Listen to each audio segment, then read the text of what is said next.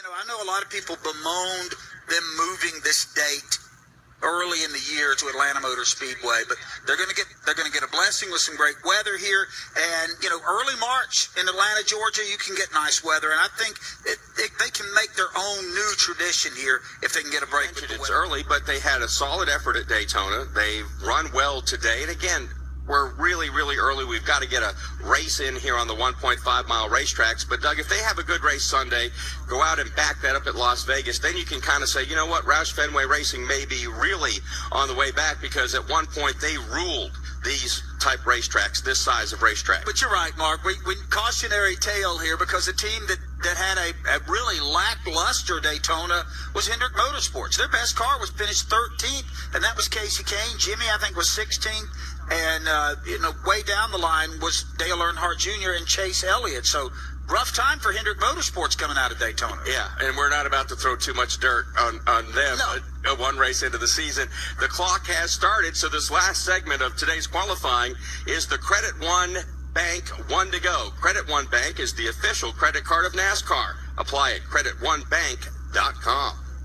about ready to roll out. And what a difference from the start of qualifying to the lights are on here at Atlanta Motor Speedway, Rob Albright. Yeah, it certainly is. And another big difference is Casey Kahne, who was first out in each of the first two sessions, still sits in his pit stall. He's not even begun to roll.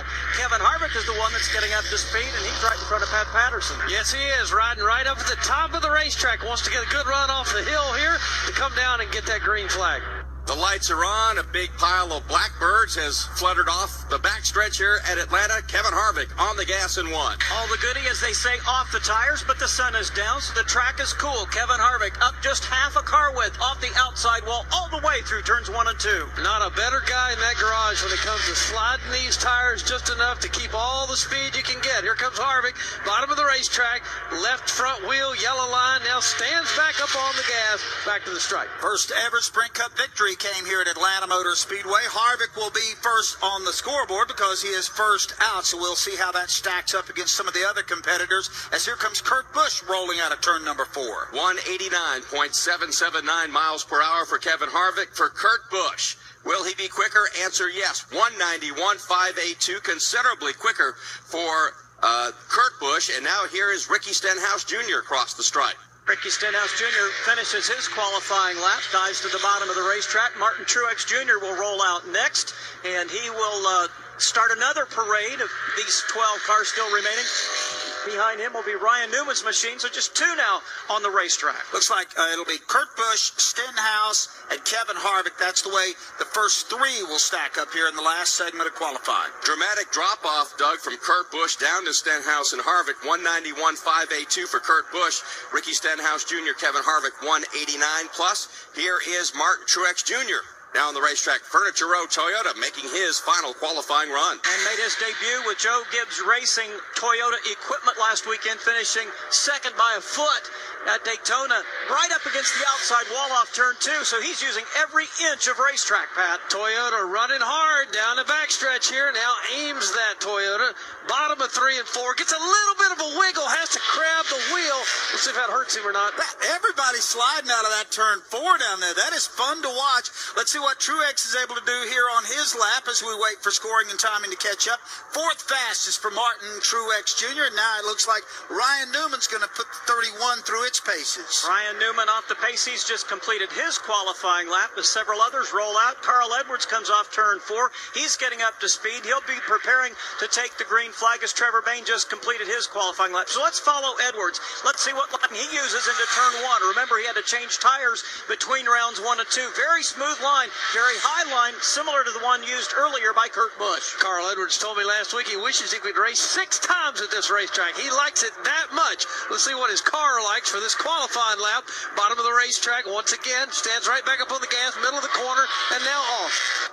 Here is Carl Edwards. He's trying to capture the pole position by taking it away from Kurt Busch. Flashes across the start finish line.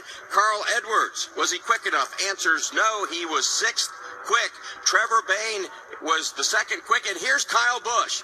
Busch's run is good enough to beat his older brother, 191.668. Kyle Busch, currently number one with three drivers left to go and one minute. Could be an all Busch front row here at Atlanta Motor Speedway. And right now, it looks like one of the last cars to qualify is going to be Brian Scott, the number 44 out of the Richard Petty Motorsports stable, halfway down the backstretch, Pat Patterson. Brian Scott hoping to get a good spot here to start on uh, Sunday afternoon. Once again, working the bottom of the racetrack, gets up into the middle groove just a bit with his yellow 44. Brian Scott, the big surprise in the opening two rounds of qualifying here at Atlanta.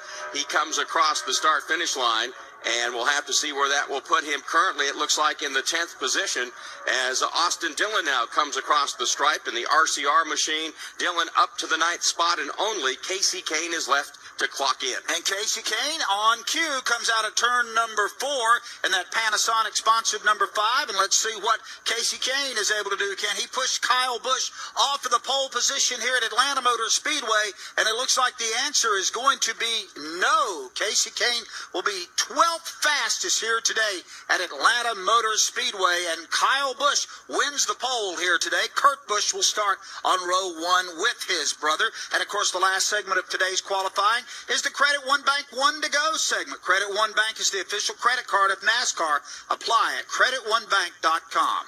This is how close it was. Uh, Kyle Busch captures the pole 28.925, beats his brother Kurt Busch 28.938. So it looks to me like that is what, doing my math, 13 hundredths of a second. Let's go to Brad Gillie.